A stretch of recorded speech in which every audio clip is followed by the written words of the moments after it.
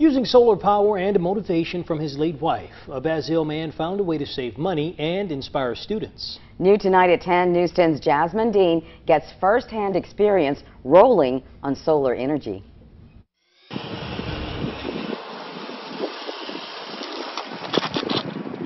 I just rode a solar-powered recumbent trike where I got a chance to learn about the blueprints and the creation behind it. Dwayne Carroll, a retired widow, is the creator of this recumbent trike. It's powered by a single solar panel and made out of recycled materials. Carroll says his late wife in saving money was the inspiration behind his creation. My wife uh, initially got me interested in solar, and uh, after her passing, I discovered I had less than $60, $160 a month left in my savings and 401k to last me two years until my Social Security can start.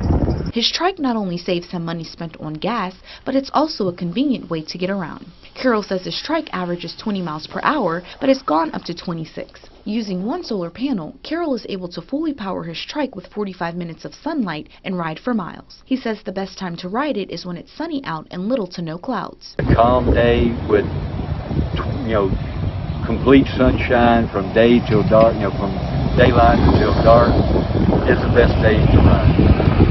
Carroll says what started out as a reason to save money turned into a mission to educate the youth and let them know about the Solar Car Challenge.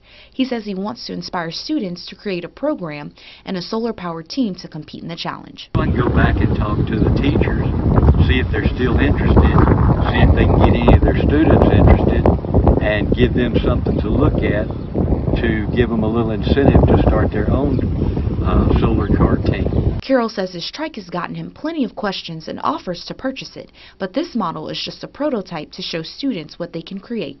His next project, creating another solar-powered trike but with two seats. In Eunice, Jasmine Dean, KLFY, News 10.